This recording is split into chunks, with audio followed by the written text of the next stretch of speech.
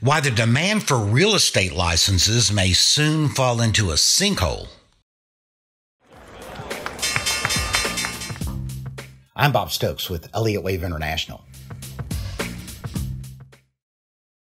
A lot of people who've lost jobs have turned to getting their real estate licenses as a path to prosperity. Part of the mindset that selling houses is worth a try is the belief that prices go up most of the time.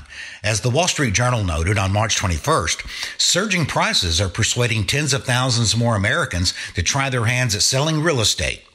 There have been many other periods of time when home prices have trended higher. However, that's not always the case.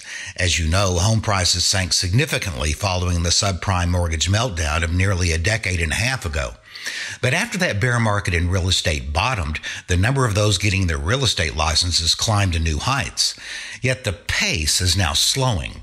This chart and commentary from our May Elliott Wave financial forecast provide insight. This chart shows the long rise of licensed real estate agents. By this measure, the rise of the great American dream can be traced all the way back to the beginning of the last century.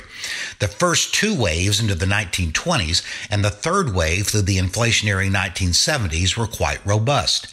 In percentage terms, the fifth and final wave of the advance from 1983 is more muted, but the inset shows that in nominal terms, it traces out five waves. Remember, when a fifth wave is complete, expect a turn in the opposite direction. The question is Is the trend and the demand for real estate licenses coinciding with the trend in the price of homes? You are encouraged to read the May Elliott Wave financial forecast for insight into home sales and prices. Plus, get our analysis of stocks.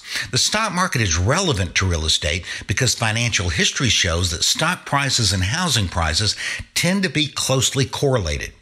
Follow the link below this video to gain instant access to our flagship investor package so you can prepare for what may be just ahead.